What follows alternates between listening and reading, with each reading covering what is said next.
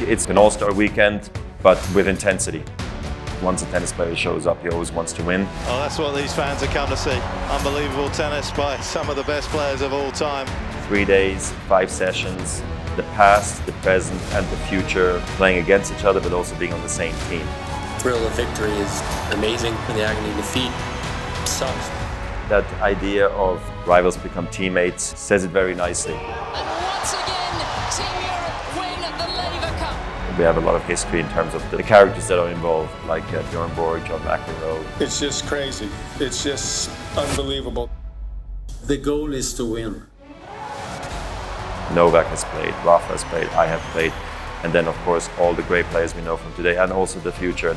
It's not a show. If it is, we're incredible actors.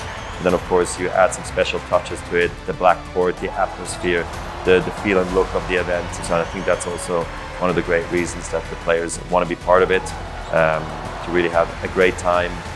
And that's all that matters in sport.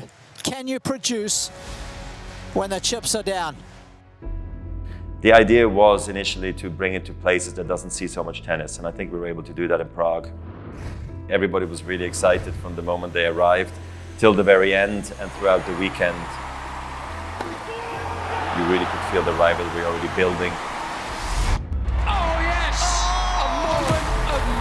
Who says tennis is not a team sport? Having Rafa there playing doubles with him, that's kind of what I remember, and then a, a great celebration with Team Europe at the end. What a weekend! What a competition!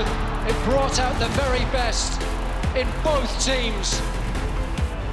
Well, Chicago was uh, cool just because, of course, the Chicago Bulls arena, All set for the 2018 Laver Cup. and all the matches were ultra tight. I think we had like eight uh, super breakers on that weekend. Um, one of the epic ones was me against John Isner.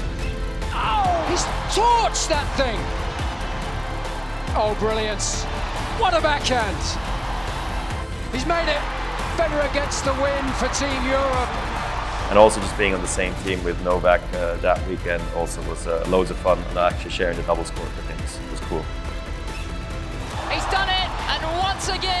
Team Europe win the Laver Cup. A Laver Cup uh, in Geneva 2019 was uh, incredible for me. Uh, I never really thought, as the Laver Cup was being constructed in our heads, that one day we'll be playing in Switzerland.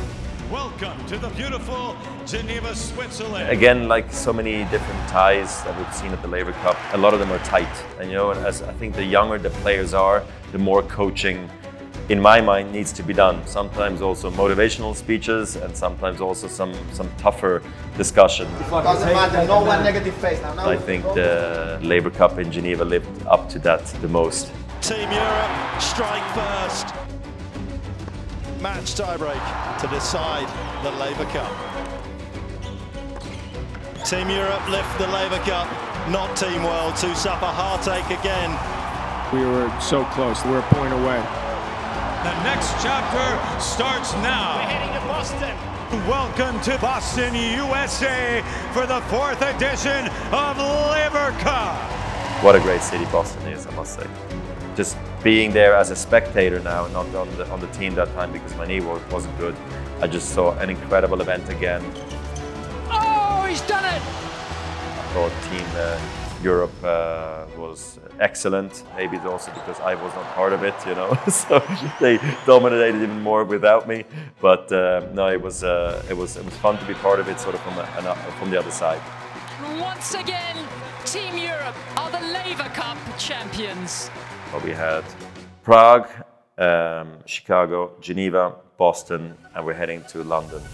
It's been incredible that they've all been sold out, and uh, same again in London. It being as successful as it was in terms of the sponsors again and the fans, it's beautiful to see.